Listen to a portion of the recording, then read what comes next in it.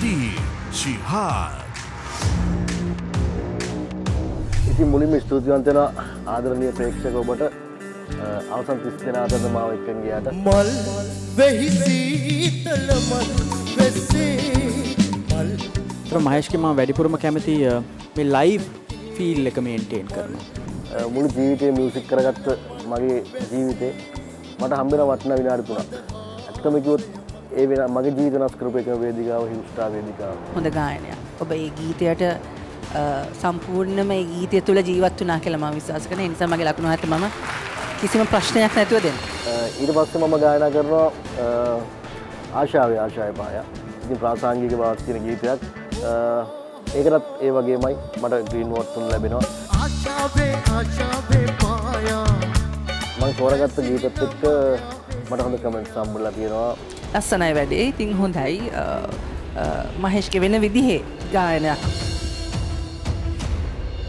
මේ අහල්ලා අහල්ලා. මගේ තාලේ වැඩි වැඩත් නෑ අඩුත් නෑ. එක වාගේ මහේෂ්ගේ හැඩේ මේක තමයි. තින්න එකට හොඳ ජාවයක් සහ හොඳ තමන්ගේ දෙයක් එකතු කරගත්ත කියලමං හිතනවා. පොඩිපොත් චකිතයක් තිබ මුල්ම කාලේ වේදිකාට ගොඩවෙදී දැන් ගොඩක් වෙනස් හරි ආසයි ගීත ගායනා කරන්න.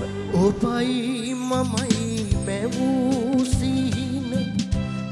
ඉතාමත් සංයමය ගීතේ ගායනා කෙරුව. ලයිව් සිංකරනට ලයිව් ෆිල් එක තියෙන්න ඕනි. ඉතින් ඒක ඇත්තටම මහේෂ්ගේ මම දැක්ක පුතා මම මුලින්ම ගානා කරපු ගීතයත් එක්ක බලනකොට එදා හිටපු මහේෂ් කියන චරිතනය අද ඉන්නේ. ලොකු වෙනස්කම්පියක් තියෙනවා. මහේෂ සුපුරුදු ලීලාවෙන් සහ මේ තමයි යාගේ හැඩේ. අද සීතල පැයකි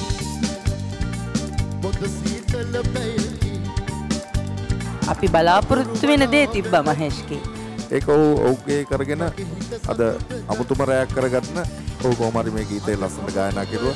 මගේ අවසානම ටාකට් එක තුස්ටා වේදිකාවේ අවසන් මහා තරගය ඉතින් අද දවස්සේ ඒ හිමිට යන්න මට ලබා දෙන්න ඒ ආදරනය වෝට් එක. දැම්ම චෙකින් වෙන්න. මං වෙනුවෙන් දැම්ම වෝට් එක ලබා දෙන්න කියලා ආදරෙන් ඉල්ලනවා बड़ा किस्तूरी